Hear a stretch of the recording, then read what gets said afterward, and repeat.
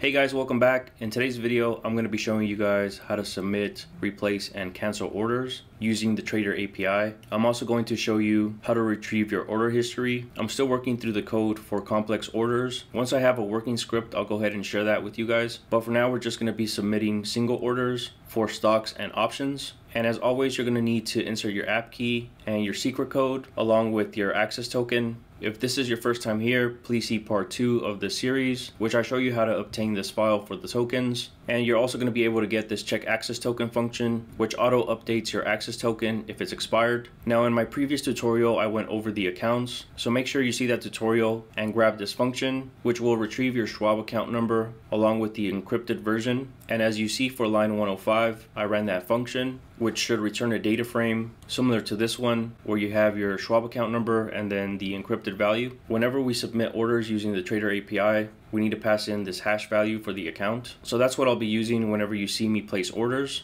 Now we're also going to need a helper function to build out option symbols the way this API wants them in. That function is called build option symbol, where we just pass in the underlying symbol, the expiration, the type, whether it's a call or a put, and the strike. And it's going to use those values to build out the option symbol, which we will pass in whenever we submit orders. Now for the following block, we're going to build our function to place orders.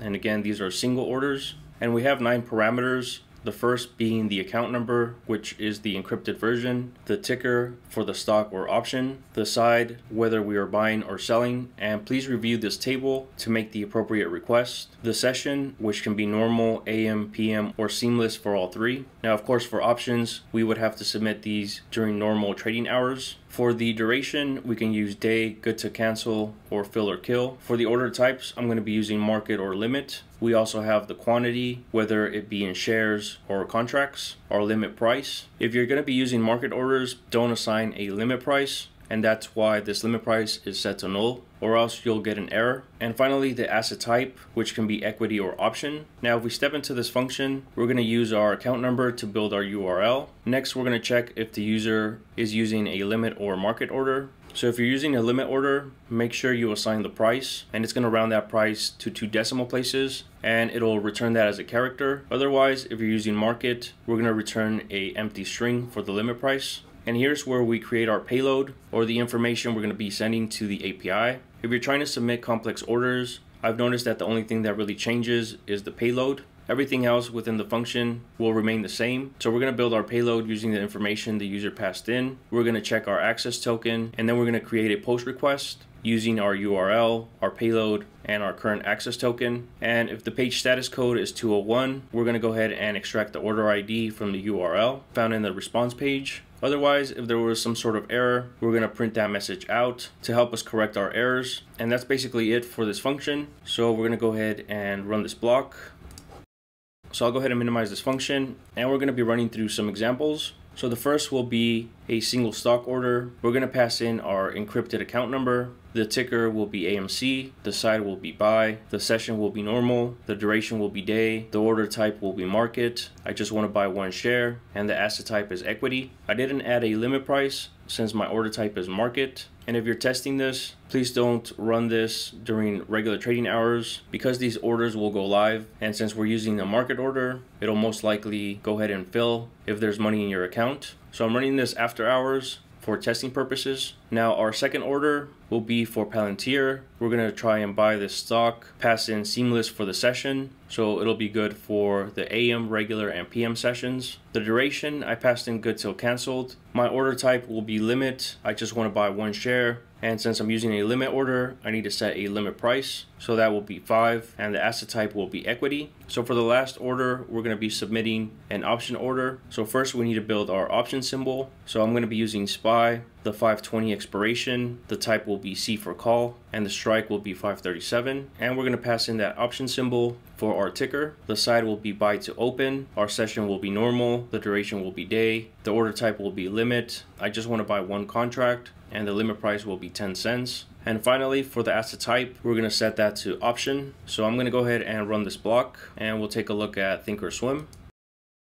We can see all of our orders, which have working status. We see our first order of buying one share of AMC at the market price. We see our Palantir order of buying one share at $5. The time in force is good to canceled and extended. And finally, we see our option order to buy one contract of SPY using the 520 expiry at the 537 strike. We wanted to buy a call option at 10 cents. So now we're going to try and replace this option order by changing the quantity and the price. So back in our script, the very next block is where we have that function. So just as the previous function, we're gonna have the same fields. And the only thing that really changes here is the request we're making. So once we build our URL and our payload, instead of a post request, we're gonna submit this as a put request. And again, if the order goes through, we wanna extract our order number. So I'll go ahead and minimize this and run it.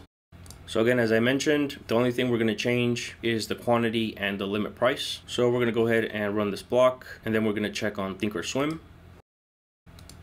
And we do see that the quantity has changed along with the price. Previously, we had one for quantity and 10 cents for the limit price. Now for the very next block, I'm going to be showing you guys how to retrieve your order history. So in order to use this function, we need to pass in our account number, which again is encrypted. The max results is optional. The default is 3000. We need to pass in the from and to dates. Just make sure that the from enter time is within 60 days from today's date. And then finally, we have status, which is optional, but we can use any of these that are available. If you set this to null, it'll go ahead and retrieve all that's available. So if we open up this function, we're going to start off by building our URL. Don't worry about formatting the from and to dates. This function will take care of that for you since they want them in ISO 8601 format. Then we're going to check our access token and submit a GET request. If the page status code is 200, we're going to extract the content and return a data frame. Otherwise, if there's nothing to return, then our output is just going to be null. So let's use this function to retrieve our order history for today. For the from and to dates, just enter them in this format or just use system date if you just want the current day, which is what I'm going to be doing. So I'm going to replace this for orders submitted today. And I'll go ahead and run this block.